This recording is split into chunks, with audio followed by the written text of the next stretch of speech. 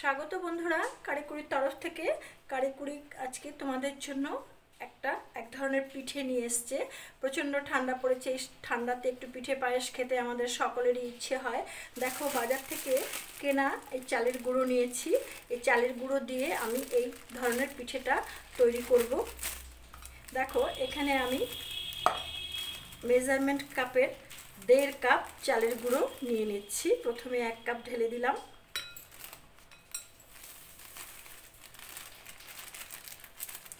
প্রায় দু কাপ, ঠিক পৌনে পৌনে দু কাপ আমি এর মধ্যে ঢেলে দিচ্ছি।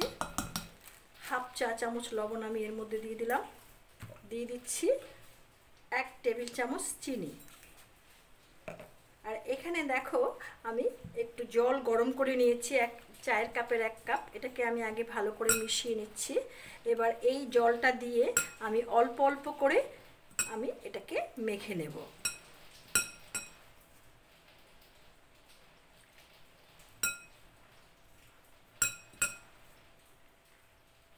আমার আরও একটু গরম জলের প্রয়োজন হবে। আরও একটু জল লাগবে। আমি অল্প অল্প করে জল দিয়ে দিচ্ছি। প্রথমে এক কাপ জল দিয়েছি। এবার অল্প অল্প করে জল দিয়ে এটাকে পুরো মেখে একটা ডো তৈরি করে নেব। দেখো, দু কাপ চালের গুঁড়ো মাখতে আমার প্রায়, চায়ের কাপের দু কাপ হালকা উষ্ণ জল লেগেছে। দেখো, এই, এইরকমভাবে ডোটা তৈরি করে নিতে হবে। এবার এটাকে আমি দশ মিনিটের জন্য রেস্টে রেখে দেবো। বন্ধুরা, দশ মিনিট হয়ে গেছে, আমি এটাকে রেস্টে রেখেছি। দেখো, এটা আমার বেশ সুন্দর, একদম সিদ্ধ কাইয়ের মতো হয়ে গেছে। এবার এটা দিয়ে আমি তৈরি করব পিঠাগুলো। দেখো, এখানে আমি একটা বাটিতে অল্প একটু ঘি নিয়েছি, আর এখানে নারকেলের, নারকেল দিয়ে খেজুর গুড় দিয়ে একটা পুর তৈরি করে নিয়েছি। এই পুরটা কীভাবে তৈরি করেছি সেটা তোমরা আমার রকমারি পুলি পিঠের ভিডিওতে দেখতে পাবে। এটা লিংক ডেসক্রিপশান বক্সে দেওয়া থাকবে। তোমরা যদি কেউ না জেনে থাকো, তাহলে সেটা দেখে করে নিতে পারো। এখন আমি হাতে একটু ঘি লাগিয়ে নিচ্ছি। দেখো, এখান থেকে আমি কেটে নিচ্ছি। কেটে নিয়ে গোল গোল করে নেব।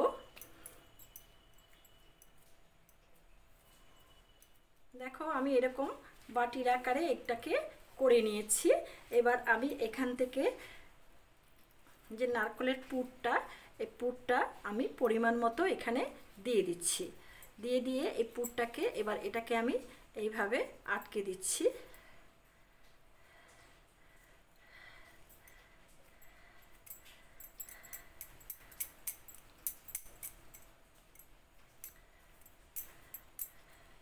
আটকে দিয়ে দেখো এরকম একটা মোদক টাইপের একটা শেপ এর মধ্যে দিয়েছি। ছোটোবেলায় আমাদের মা, মাসিরা যখন এটা তৈরি করতেন, তখন তাদের অবাক হয়ে দেখতাম, এটা আবার কি পিঠে?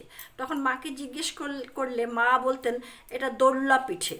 তো এই যে দোল্লা পিঠে, এই দোল্লা পিঠেটাকে আমরা দুধে জাল দিয়ে নেব। এইভাবে আমি বাকি পিঠেগুলো তৈরি করে নেব। দেখো বন্ধুরা, লাস্টের একটা আমি তোমাদেরকে আবার দেখাচ্ছি।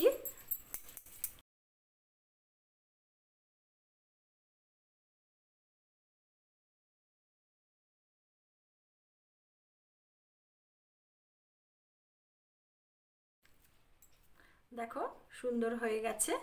এইভাবে দেখো আমি পুরো এগুলো সব করে নিয়েছি। এবার গ্যাস উনুনের দিকে যাই, চলো। বন্ধুরা, দেখো, আমি গ্যাস ওভেনে এখানে হাফ লিটার দুধ প্রথমে জাল দিয়ে নিয়েছি। এবার এই দুধের মধ্যে আমি এইগুলো সব দিয়ে দেবো। দুধটা আবার একটু ফোটাবো। তো এই যে দোল্লা পিঠেগুলো, এই পিঠেগুলো তোমরা দুধে জাল দিয়েও খেতে পারো, আবার এটাকে তোমরা সেদ্ধ করেও খেতে পারো। সেদ্ধ পুলি যেইভাবে করে, ঠিক একই রকমভাবে এটাকে হাঁড়িতে জল বসিয়ে, তার মধ্যে একটা ফুটো ফুটো কোনো চালনি দিয়ে, তার উপরে কাপড় দিয়ে, এগুলোকে সাজিয়ে দিয়ে, ঢাকা দিয়ে দিলেই তোমরা দশ মিনিটের মধ্যে সুন্দর এটা সেদ্ধ হয়ে, সেদ্ধ দোল্লা পিঠা হয়ে যাবে।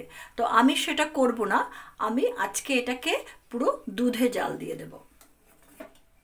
দেখো বন্ধুরা, দুধটা ফুটছে। এবার আমি এর মধ্যে এই ফুটন্ত দুধের মধ্যে আমি এক এক করে এগুলো সব ছেড়ে দিচ্ছি। সবগুলো পিঠে আমি এর মধ্যে ছেড়ে দিলাম। এইদিকে দেখো, একটা বাটিতে আমি খেজুর গুড় একটু ভেঙে নিয়েছি, অল্প একটু জল নিয়েছি। গ্যাসের আরেকটা ওভেনে আমি কি করব? এটাকে একটু ফুটিয়ে নেব।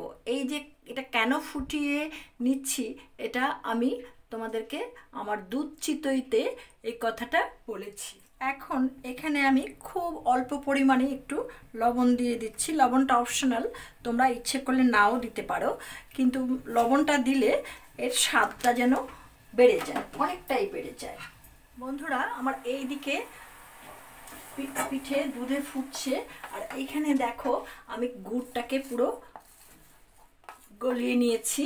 এখন এটা তোমাদেরকে আমি বলেই দিচ্ছি যে যাতে দুধটা কেটে না যায়, ওই জন্য আমি এটাকে করে নিয়েছি। এটাকে জলে ফুটিয়ে নিয়েছি গুড়টাকে।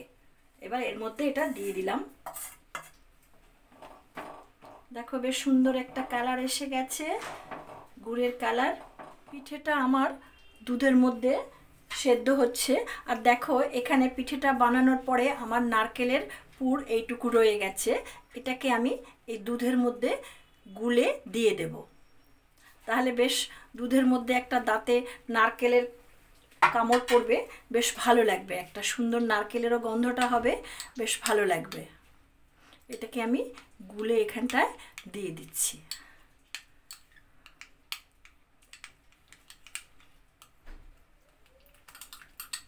দেখো বেশ সুন্দর হয়েছে দেখতে।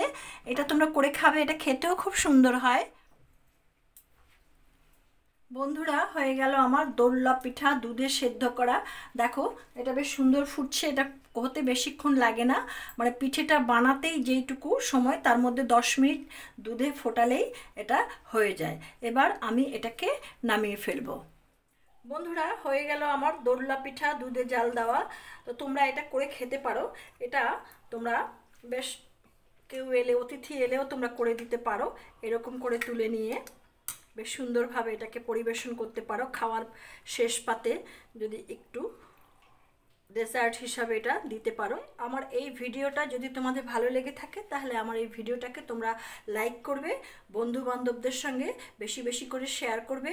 আর কোনো কিছু জানার থাকলে কমেন্ট বক্সে অবশ্যই লিখে লিখবে। আর যারা এখনও পর্যন্ত আমার এই চ্যানেলটিতে নতুন, আমার চ্যানেলটিকে সাবস্ক্রাইব করনি, তাদের কাছে আমার একান্ত অনুরোধ রইল চ্যানেলটিকে সাবস্ক্রাইব করে বেল আইকনের অল অপশানটিকে ক্লিক করবে, তাহলে আমার পরবর্তী সমস্ত নোটিফিকেশন তোমাদের কাছে সবার আগে পৌঁছে যাবে। দেখতে থাকো, কারিকুরি আগামী দিন তোমাদের জন্য কিনে আসে। তোমরা ভালো থেকো, সুস্থ থেকো। ধন্যবাদ।